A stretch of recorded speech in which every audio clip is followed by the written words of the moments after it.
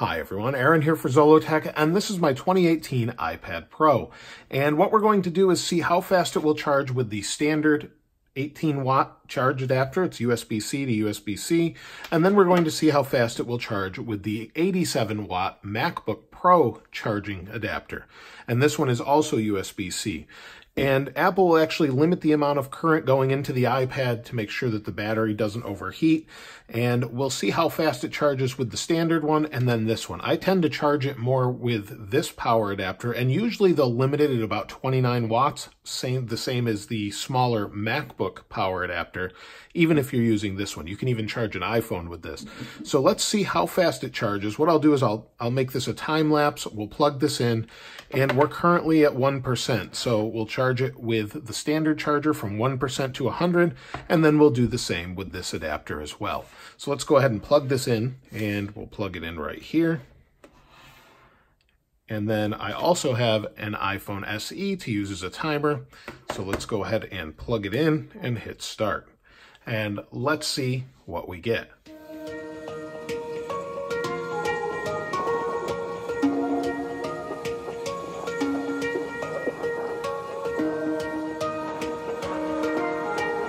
So it took 3 hours and 21 minutes to bring it up to 100%. So it's at 100% now, and after about 3 hours and 20 minutes or 3 hours and 21 minutes, uh, we've got a full charge from 1%.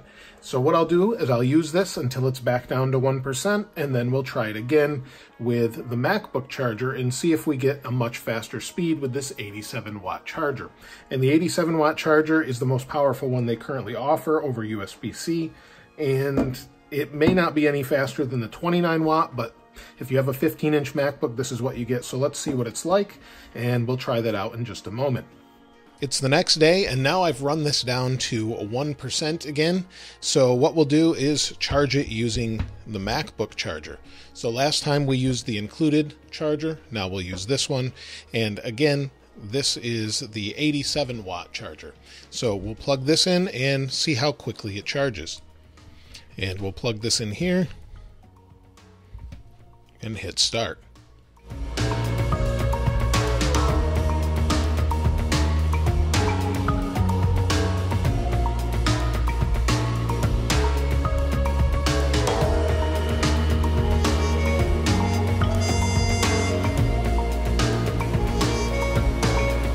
Now, after charging for 2 hours and 37 minutes, we reached 100%. That's a 44 minute savings over the included standard charger. And while that doesn't seem like a lot, if you want a fast charge, you can do that right up to 90% in about 2 hours, is what we found out. So if you want to go from 0 or 1% to 90%. It's going to take you about two hours with the fast charger from the MacBook Pro. And we reached 100 percent and the iPad itself really wasn't warm. The back wasn't warm at all. There was no issues with that, and it was nice and cool. So that's a good sign, although I wouldn't necessarily recommend that you use this on a daily basis. I do use it when I'm in a pinch from time to time, but if I'm going to charge it from 0% or 20% up to the top, I usually use this just to preserve the battery over time. You don't really want to fast charge for long periods of time over and over and over. Similar to uh, some other manufacturers, such as cars, you don't want to charge that fast just because the heat will really deplete the battery. But again, this really wasn't warm and it seemed to hold up pretty well. So I'll leave a link to these chargers in the in the description below. This one's included.